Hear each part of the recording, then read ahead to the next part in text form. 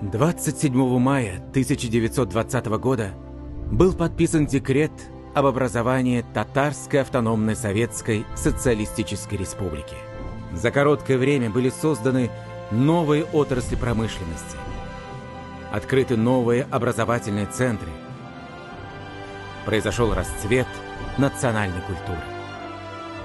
Республика стала одной из кузнец Великой Победы, производя различные вооружения, обмундирование и обеспечивая фронт продовольствием. Сугыштан соңгы 10 еллыкта республиканың үсеше дәвам итә. Һәм технология үзәгенә үрелә. Эшкәртү сәнәгате зур үсеш ала.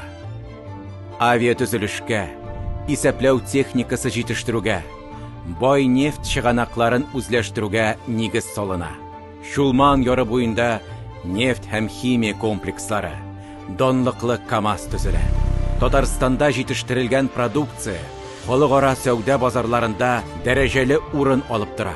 Республикабыз шулай ук авыл хуҗалыгы өлкәсендә дә бөтен ил күләмендә иң алдынгылардан санала.